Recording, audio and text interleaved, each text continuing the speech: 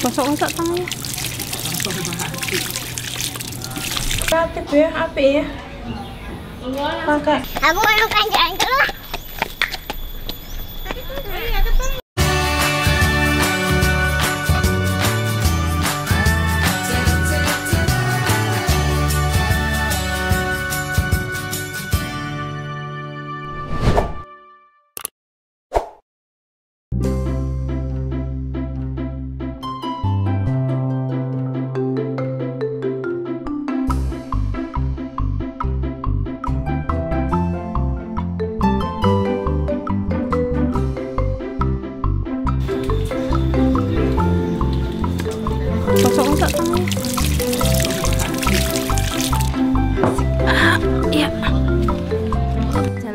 ke Taman Indrokilo di Boyolali. Menarik sekali nih tamannya, luas sekali.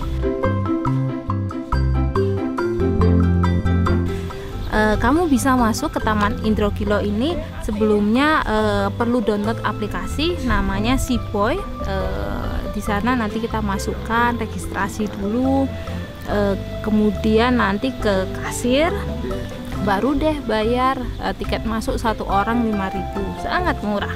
Eh, kemudian tapi kalau untuk saat ini masih gratis. Nggak tahu kayaknya sampai bulan apa ya gratis ya.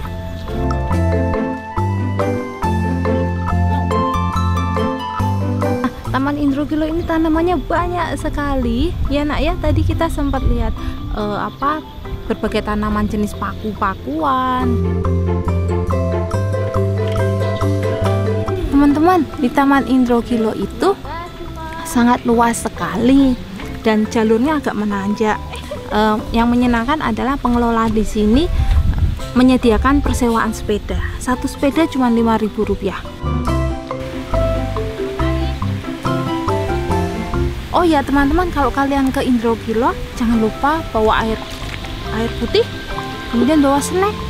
Jadi kalau capek kita bisa duduk di sini banyak kursi-kursi tanaman teduh enak sekali istirahat sambil minum dan makan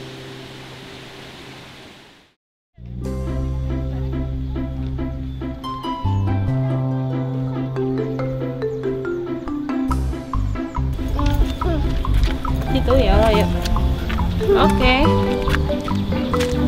Banyak. Tapi kini yang paling menarik main di mana nak?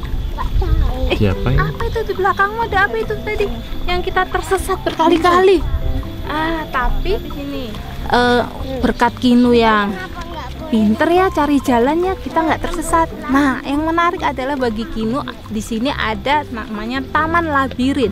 Kinu sangat tertarik sekali. Kebetulan eh, Kinu suka sekali kisahnya Minotaur ya Minotaur itu cerita dari zaman Romawi yang eh, dia monster yang tinggal di dalam labirin. Nah, jadi tadi kita ketemu Minotaur nggak? Nggak ketemu ya? Minotaurnya ke mana ya? Nggak tahu ya Minotaurnya ada di zaman Romawi. Beneran Minotaur itu beneran enggak? oh, Minotaur itu dongeng. Dongeng itu berarti cerita saja. Kenapa ya nggak ada ya? Kira-kira ada nggak ya manusia yang kepalanya kerbau? Iya nak. Badannya eh gimana sih badannya manusia kepalanya kerbau ya?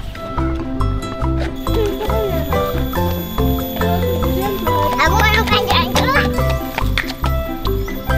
Tadi seru nggak menemukan jalan keluar? Seru ya. Kapan-kapan kita ajak teman-teman ke sini mau? Iya, asik ya. Sampai jumpa teman-teman.